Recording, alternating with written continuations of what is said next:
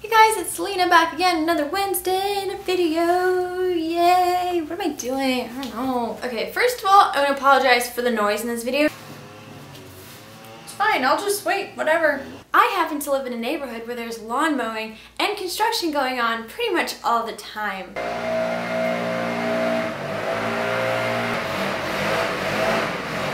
Next, I would like to apologize for not having a speed painting for you in this video because I'm actually in the middle of relocating my studio and it's chaos. Yeah, I just didn't have time this week to uh, document a painting. I'm sorry. I would, however, like to use this opportunity to answer a lot of the questions that just repeatedly keep coming up. Pretty much every single video, these questions come up. I figured maybe if I make this video, then in case I don't get to that question, maybe you'll come across this video and your question will be answered. My art store has a brand new design, so if you want to check it out, it's lenadanyastore.com. I'm pretty much creating something all the time, and I post a lot of works in progress on Instagram and Tumblr, so check those out. Now that that's out of the way, let's get to the questions.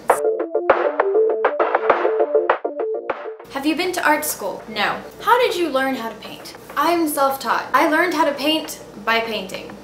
Literally, like by practicing and experimenting and just letting the process uh, teach me. So trial and error, that's basically it. What books do you recommend for learning how to paint? I haven't read books about painting. Like I said, I just learned by doing. The books that I like to read regarding art are more about the process and about creativity and inspiration. Um, so the books that I would recommend that you read, especially if you're struggling or you feel a little creatively blocked, is um, The Artist's Way by Julia Cameron, Art and Fear by Ted Orland and David Bayles. Another one I really like is What Painting Is by James Elkins, but I don't have that book physically. It was like a PDF file that I downloaded. Check these books out. They are awesome. How old were you when you got into art? I don't remember a specific age when I got into art. It's just what I always did. Growing up, I was always the artist in my class. It's how I made friends. It just always felt right and always made sense. Do you have any tips for beginners? It doesn't have to be perfect.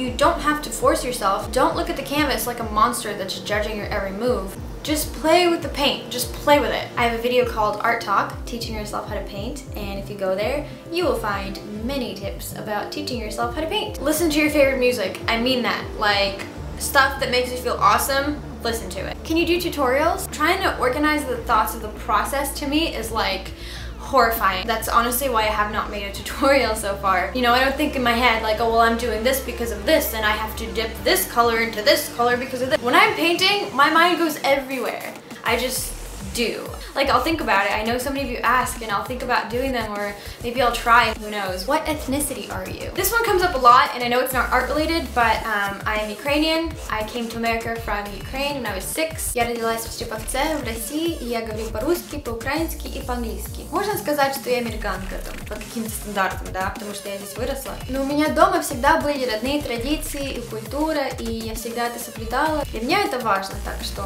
у меня как бы два перспектива. Сейчас интересно, потому что русскоговорящий YouTube очень развивается, и, не знаю, как-то хочется участвовать в этом. Well, that is it for this video. I hope you found this uh, somewhat insightful or entertaining or helpful or I don't know. Subscribe for more videos. I will do my best to have some art ready for you next week. Um, yeah. Bye guys. Mwah.